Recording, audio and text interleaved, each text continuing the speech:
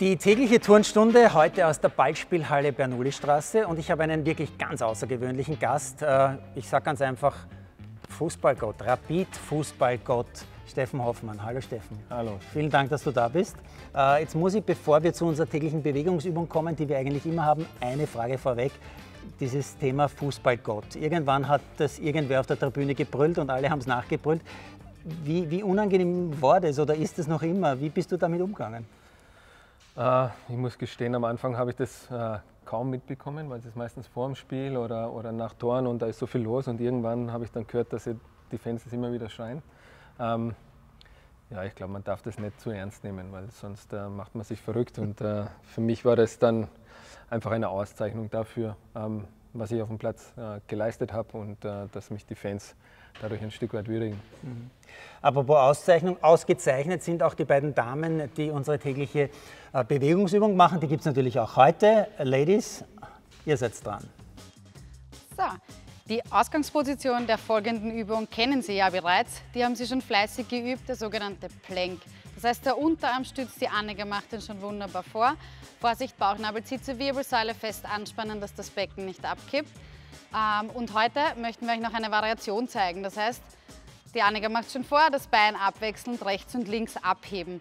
Wenn das schon gut funktioniert, wichtig ist die Stabilität nicht zu verlieren, sondern zu halten, stetig. Wenn das gut funktioniert, kann man auch gegengleich einen Arm und ein Bein abheben.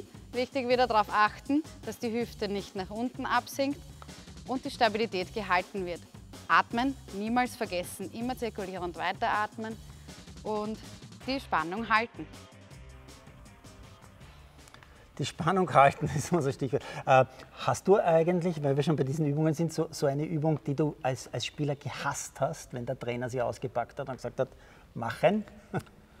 Puh, äh, natürlich gibt es immer, immer Sachen, wo man, äh, wo man vielleicht nicht so gut ist und die man nicht so gern macht. Zum Beispiel. Aber das sind dann auch immer die Sachen, die man wahrscheinlich am meisten braucht und man es am wenigsten kann. Ähm, zum Beispiel, pff, also früher habe ich Klimmzüge zum Beispiel, das war, war für mich ein, ein, rotes Tuch, aber...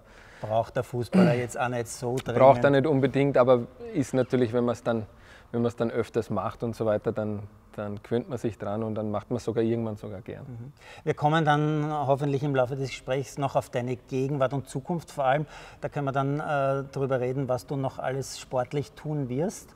Was machst du aktuell täglich, sportlich? Äh, ja, also es gibt, kein, gibt keinen festen Zeitplan mehr, den ich, den ich einhalten muss. Das ist einmal schön.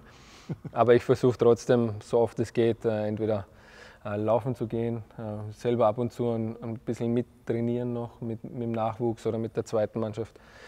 Und auch, wenn es nicht anders geht, auch in die Kraftkammer gehen, wenn ich nicht laufen kann. Wenn es nicht anders geht, also ist nicht so ganz dein, dein Lieblings... Oh ja, ich gehe geh schon, geh eigentlich schon gern äh, in die Kraftkammer mhm. mittlerweile. Und ähm, ja, es geht, kann man sich in einer relativ kurzer Zeit ziemlich gut ausbauen. Mhm. Äh, Du hast eine unglaubliche Karriere hingelegt, also für österreichische Verhältnisse, für österreichische Fußballverhältnisse einzigartig. Äh, diese 16 Jahre Rapid, Achtung, die echten Rapid-Fans werden jetzt sagen, ja, das 16 Jahre stimmt nicht ganz, dazwischen war einmal ganz kurz ein, ein Ausrutscher nach Deutschland, zu 1860 glaube ich war die, ich kann mich gar nicht mehr erinnern. Warum bist du damals zu 1860, was war da? Ja, lange, eigentlich eine lange alte Geschichte. Ich komme ja aus Deutschland und für mich war immer, äh, immer irgendwie klar und habe das auch mit meiner Familie damals so kommuniziert, dass ich schon irgendwann in Deutschland auch spielen möchte wieder. Und ähm, das war schon mehr oder weniger von mir, für mich auch so ausgemacht, dass wenn ich, wenn ich jetzt nach Österreich gehe, wie ich das erste Mal gekommen bin, dass mein Weg irgendwann wieder zurück nach Deutschland gehen wird. Dann habe ich das eben in einer kurzen Zeit äh, erledigt und bin wieder zurückgekommen. Mhm. Äh, bereust du es in irgendeiner Form? Nein, oder? Nein. Ähm, in gesagt, Wahrheit bist du jetzt schon ein halber Wiener, oder? Oder drei Viertel Wiener? Ja, weiß ich nicht. Äh, ähm, ich bereue es nicht. Ich, ich habe äh, eine super Zeit hier gehabt, äh, habe mich sehr wohl gefühlt. Ähm, damals der, der Schritt zu 60 war auch irgendwie mh, hm, wichtig für mich, aber wenn das vielleicht äh, im Nachhinein ähm, ein bisschen komisch ausgeschaut hat, aber für mich persönlich war es wichtig und äh, ja, bereue nicht. Ich habe im Internet natürlich, wie das heutzutage jeder Journalist macht, auch ein bisschen gegoogelt und ein bisschen mich erinnert, was wir da alles zum Teil auch gemeinsam erlebt haben. Äh, stimmt die Geschichte, dass du genau einmal für die Bayern gespielt hast? Ein einzelnes Spiel? Einmal, ja. Ähm, einmal. Weil das Äh, Skurrile ist, ich habe gelesen, es gibt 30 Spieler, die einmal in ihrem Leben für ein Spiel bei den Bayern gespielt haben. Und ich bin derjenige, ich, ich bin derjenige mit der kürzesten Einsatzzeit. also ich bin Okay, äh, bei den Bayern im Museum und bei uns auch. großartig, oder? Wunderbar. Lass mal kurz diese, diese unglaubliche Karriere-Revue passieren. Was war dein persönlicher, ganz privater, größter Moment? Ja, privat ähm, natürlich die, die Geburten meiner Nein, Kinder. ich meine jetzt als Spieler. Ach so, als Spieler. Ähm, schwierig, weil es wirklich viele, Zu viele. Hast tolle, zu viel viele tolle. Momente gab. Äh, für mich persönlich ähm, war natürlich das mein letztes offizielles Spiel gegen Alltag, wo ich reinkommen bin und Mhm. Weißt du dann, noch ein, Datum noch? dann noch ein Tor geschossen habe. Äh, ich glaube, ich bin mir nicht ganz sicher, der 20. Völlig Äh, richtig, 20. Mai. 20. Mai. Äh, war natürlich ein, ein sehr spezielles Spiel für mich. Äh, sehr, sehr viele Emotionen in mir und im ganzen Stadion. Und mein Abschiedsspiel war natürlich auch etwas, was ich, was ich nicht vergessen habe. Hältst du es für möglich, dass Alltag, der Gegner damals, wo du dieses Tor geschossen hast, dass die sozusagen äh, di- dich gewähren haben lassen? Oder war es einfach so eine gute Aktion, dass da ein Tor entstehen musste? Nein, ich glaube nicht, dass, das, äh, dass mir da irgendjemand einen, einen Gefallen getan hat. Ähm, ist einfach passiert und hat so sein sollen. Was war der schlimmste Moment in deinem Fußballerleben? Äh, auch schwierig, weil es gehört einfach dazu, dass man bittere Momente erlebt. Aber äh, als ich damals von, von 60 wieder zurückgekommen bin nach diesem halben Jahr und mich im ersten Spiel verletzt habe und äh, die Erwartungen einfach von mir und auch von allen anderen äh, riesengroß waren, ja, das war schon eine große Enttäuschung. Äh, du hast drei Kinder. Äh, eines ist 14, das ist das der Sohn. Der, na, der Sohn ist der Jüngste Der mit Sohn ist sieben der Jüngste, und okay. die zwei Mädels sind elf und 14. Was machen die sportlich? Äh, die Mädels tanzen und der Junior tanzt mittlerweile auch und spielt in der Fu Schule Fußball. Wo haben sie das her, das Tanzen? Sicher nicht vom Vater. Okay, also von der Mama oder, oder wie, wie, Ja, wie, wie nein. kommt ein junger Mensch heute zum Tanzen? Naja, sie haben angefangen, äh, Ballett zu tanzen und mittlerweile tanzen sie, äh, ich weiß, die meiste kann ich nicht mal aussprechen, Modern, Jazz, äh, Stepp. Der, der Junior hat jetzt auch angefangen mit Stepptanz. Ähm, das macht ihnen Spaß und ist auch schön. Tanzen, das ist ja cool. Aha. Ja, aber die müssen ja irgendwie so ein bisschen eine künstlerische Ader haben. Hast du eine künstlerische Ader?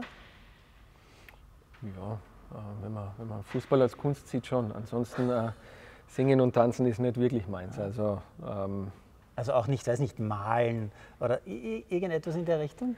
wenig. Wenig. Wenig. Faszinierend. Da bin ich schon sehr gespannt, äh, wa- was, was aus, den, aus den Kindern noch wird. Äh, Du bist ja auch involviert, was den Nachwuchs bei Rapid betrifft. Was machst du da momentan genau? Äh, Meine Aufgabe nennt sich Talentemanager. Das heißt, ich kümmere mich um die größten Talente bei uns im Verein. Ähm, Nicht so, dass ich neue Spieler zu uns hole, sondern mich um die kümmere, die da sind. Und das ist eine, schon eine sehr zeitaufwendige Aufgabe, weil ich natürlich versuche, möglichst oft beim Training dabei zu sein, bei den Spielen dabei zu sein, äh, mit den Jungs auch äh, Privatkontakt zu haben, zu wissen, wann sie in die Schule gehen, wie oft sie in die Schule gehen, wann sie ja, ja, äh, alle möglichen Dinge, die außerhalb vom Fußball noch sind, wann die passieren. Und das ist äh, eine schöne, aber auch sehr zeitintensive Aufgabe. Und vor allem auch challenging, weil äh, du nimmst ja sozusagen auch ein, ein ganz ein kleines Stück weit Einfluss auf deren Umfeld, auf deren Familie vielleicht oder solltest Einfluss nehmen, wenn es nicht ganz auf der, auf der guten Bahn dahin geht, oder? Ja, aber ich muss sagen, die meisten Jungs sind wirklich äh, sehr, sehr fokussiert und wissen, was sie wollen. Ähm, da ist oft so, dass man, dass man ihnen ein bisschen einen, auch einen, einen Stress wegnehmen muss, der dann teilweise auch äh, von, von außerhalb kommt, sei es Familie oder Manager, wo man, wo man einfach ein, auch ein Stück weit ein, ein, ein Freund sein muss, der, der ihnen hilft. Ich wollte gerade sagen, wie machst du das? Also das ist einfach Kommunikation, oder? Am Ende Sehr des viel, Tages. sehr viel Kommunikation, ähm, auf die Jungs zugehen. Die meisten sind natürlich äh, eher schüchtern am Anfang, wenn's, äh, wenn ich Ist dann das auf sie so? zukomme und, Ja, die meisten. Ist das nicht so? Ich habe mir, ich hab mir, äh, naiv vielleicht, aber ich habe mir gedacht, äh, ein Fußballer, der wirklich Profi werden will, also der das wirklich sozusagen fokussiert angeht, der, der hat Selbstvertrauen, der, der will alles zerreißen und den muss man eher so ein bisschen bremsen. Ja, das kommt dann später, aber Aha. so bei, der, bei den ersten zwei, drei Begegnungen sind die Jungs eher, wenn es dann vor mir stehen, dann merke ich schon, okay, das müssen wir langsam aufbauen, aber mhm. meistens äh, funktioniert das dann gut. Und ich stelle mir das gerade so vor, sagst du denen ein bisschen was über deine Karriere, damit sie dich ernst nehmen? Weil wenn da ein x-beliebiger daherkommt und mir erklärt als jungen Menschen, was ich tun sollte oder was ich eher lassen sollte, nehme ich es ihm nicht ab. Wenn da der Steffen Hoffmann kommt, ja, Steffen Hoffmann, Fußballgott, sind wir beim Thema, dann schon eher, oder?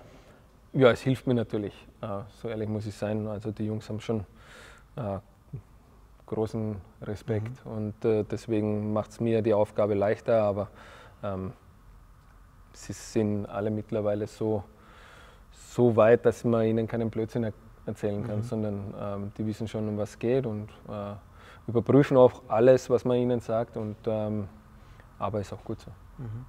Äh, wir machen ein kleines Break, äh, das jetzt mittlerweile Standard ist in dieser Sendung. Die tägliche Turnstunde heißt äh, tägliche Turnstunde eigentlich nicht, weil wir turnen, aber weil wir turnen. Steffi, Amelie, Amelie ist ja bei Annika, sind wir ganz daneben. Es ist noch immer Bitte, die gleiche Annika. Los. Sie zeigt uns jetzt noch eine Variation vom Plank. Und zwar kann man dann die Beine anziehen und unter den Körper. Man kann das sehr langsam oder auch schneller machen. Man sieht ja auch die Variation. Sie zieht das Bein gerade nach vorne, das Knie oder eine Rotation in der Hüfte und zieht es nach außen. Das wären Möglichkeiten. Auch im Tempo kann man natürlich auch variieren und das Ganze gesprungen machen. Wichtig ist aber die Stabilität stets zu halten und sich langsam anzunähern. Wirklich auch vielleicht seitlich im Spiegel kontrollieren, ob man die Position halten kann und erst dann ein Stück weitergehen. Man darf sich gerne ein bisschen selbst herausfordern, aber wichtig ist auch nicht überfordern. Apropos überfordern. Steffen, wie professionell ist der Fußball heute geworden im Vergleich, sage ich jetzt mal, vor puh, 35 Jahren, 40 Jahren, als ich als ganz junger Reporter am Fußballplatz gestanden bin und so Menschen wie der Toni Polster immer am Boden liegen geblieben sind und nichts gemacht haben, wenn der Trainer ihnen den Rücken zugekehrt hat und erst wieder bewegt haben oder irgendwelche Klimmzüge oder sonst was gemacht haben, wenn der Trainer hingeschaut hat. Was hat sich da in den 30, 40 Jahren getan? Ich glaube sehr viel. Ähm, der Fußball ist natürlich deutlich schneller, dynamischer geworden und äh, da kann man sich eigentlich kaum erlauben, äh, nicht topfit zu sein. Und ähm, mittlerweile geht es eigentlich darum, dass man, dass man auf, einem, auf einem super Niveau ist, sonst kommt man, kommt man einfach nicht mehr mit. Mhm. Und ähm, da kriegt man die Rechnung dann auch relativ schnell präsentiert. Wann, ab welchem Alter, also welcher Altersstufe beginnt bei Rapid die unter Anführungszeichen Überwachung? Also, dass man mit Brustgurt läuft und, und jede Bewegung kontrolliert wird? Ähm, ab der, eigentlich ab der Akademie, mhm. also ab der U15. Ähm, und wird dann stetig ein, ein bisschen mehr. Ähm, ist, ja, ist, für viele Spieler ist es, äh, viele Spieler mögen das wirklich gern, mhm. äh, um nach dem Training zu kommen und sagen, wie viele Meter habe ich heute gemacht, wie viele Sprints habe ich gemacht. Äh, das sieht man dann alles und das ist schon, schon sehr, sehr spannend und hilft einem auch, aber es macht den auch Jungs, Druck, oder? Ja, macht auch ein, ein, ein Stück weit Druck, aber ähm, der kommt ja dann irgendwann so und so auch dazu. Aber äh, das Wichtigste bei allem Druck und allem, was dazugehört, ist einfach, dass die Jungs trotzdem Spaß haben am Kicken. Ja. Okay, das hörst jeden Tag. Äh, jeder Sportler sagt, Hauptsache ich habe Spaß. Aber am Ende des Tages ist es ein knallharter Beruf und das wird doch in der Öffentlichkeit unterschätzt, oder? Ja, es wird, wird sicher unterschätzt, äh, aber ich glaube trotzdem auch, wenn man etwas mit Spaß und Freude macht, dann macht man es äh, besser und, und, äh, und hat mehr, mehr Einsatzbereitschaft, wie wenn man sich selber jeden Tag zu etwas zwingen muss. Was macht Social Media mit den jungen Fußballern, die du kennenlernst? Ja, ist natürlich ein, ein großes Thema, nicht nur bei den jungen Fußballern, sondern bei allen äh, ja. in der jungen Generation. Ähm, ist, ist etwas, äh, wo sie sich teilweise auch selber ein bisschen unter Druck setzen lassen. Und äh, da glaube ich, ist wichtig, dass man ab und zu ein bisschen Fahrt rausnimmt und auch ihnen, gerade den, den jungen Spielern, versucht, äh, auch mitzuteilen, dass alles, was man da jemals postet, irgendwann einem wieder am Schädel fallen kann. Und ähm, deswegen ist manchmal weniger auch mehr. Erinnerst du dich, wann du deinen ersten Facebook- oder Instagram-Post abgesetzt hast? Ich habe keine Ahnung. Weil das muss ja äh, dieser Moment irgendwann einmal kommen, wo man das das erste Mal macht und wo man dann von einem Tag auf den anderen äh, enormen Druck kriegt, weil, wie du gesagt hast, weil das alles ist alles gespeichert. Alles, was dort drauf ist, ist ein Leben lang irgendwo gespeichert. Ja, also bei mir, ich bin da nicht besonders aktiv auf, den, auf diesen Kanälen, aber äh, ich habe es auch. Es ist, ist spannend, aber ich muss ehrlich sagen, für mich war das nie nie eine, eine Druckgeschichte, sondern wenn ich Lust habe und mir es taugt, dann poste ich was. Gibt es bei Rapid in der Kabine Handyverbot? Weißt du das? Äh, an und für sich schon. Ähm, aber? Aber jeder natürlich. In der Tasche. Äh, nein, in der Tasche hat es jeder, aber es muss auch lautlos sein und äh, äh, natürlich, wenn man, wenn man ein Derby gewinnt oder irgendwas und äh, es kommt dann irgendwo ein Video raus, dann drückt man ein Auge zu. Mhm. Äh, Steffen, Du arbeitest mit jungen Menschen, du hast drei junge Kinder. Wie geht es jetzt weiter? Hast du schon so ein bisschen einen konkreten Plan, wie deine persönliche Karriere weitergeht? Nicht. Also es ist nicht, nicht so, dass ich mir jetzt irgendwelche Ziele in naher Zukunft setze, mhm. sondern äh, ich möchte den Job, den ich jetzt mache, möglichst gut machen, möglichst viele junge Spieler ähm, aus unserem Nachwuchs in die Kampfmannschaft bringen und äh, da begleiten. Und das ist ja wirklich schöne, sinnvolle Aufgabe für mich, für die Jungs und auch äh, für den Verein. Und äh, alles, was danach kommt, wird man, wird man sehen. Gibt es eine Vorgabe vom Verein, was, du, was, was die Spieler erreichen müssen, die du betreust? Nein, gar nicht. Gar nicht. Ähm, ist eigentlich ein cooler Job. Ja, ist ein, ist ein cooler Job. Und natürlich, äh, wer mich kennt, weiß, dass ich ehrgeizig bin und mhm. dass es mir oft nicht schnell genug gehen kann, dass die Jungs oben sind. Aber ich glaube, heuer haben wir eh schon viele, viele Jungs äh, mit Einsätzen in der Kampfmannschaft und wenn es so weitergeht, bin ich zufrieden. Ich freue mich, dass du da warst. Ich hoffe, wir sehen uns wieder. Äh, am Ende unserer Sendung gibt es immer äh, Hinweise, Programmhinweise. In diesem Fall habe ich etwas, was dich am Rande betrifft, weil du ein großer Läufer warst als Fußballer, äh, Kilometer gemacht hast. Wahrscheinlich hättest du jeden Rekord gebrochen, wenn es von Beginn an deiner Karriere schon die Kilometermessungen gegeben hätte, oder? Das ist gut möglich. Ja. Ein paar Spiele waren dabei, die Hast, weißt du einen persönlichen Rekord? Von Nein, ich, also ich weiß nicht, aber ich war ja. immer, immer. Aber so 13 um die, Kilometer wird schon gewesen sein, oder? Um die 12 war ich immer ja. und dann hat es halt Ausreißer gegeben, je nachdem, wie intensiv die Partie war. Der ewige Läufer. Ja, im Rahmen der Wien Läuft Initiative findet das Grande Finale statt und zwar schon am 26. Oktober in der Prater Hauptallee. Die Kinderbewerbe starten um 9.30 Uhr, Hobbylauf und Nordic Walking 10.45 und dann gibt es auch einen Hauptlauf Wien Läuft Finale Grande um 11.25 Uhr am 26. Oktober. Das war's. Danke Steffen, hat mich sehr gefreut. Danke. Bis zum nächsten Mal.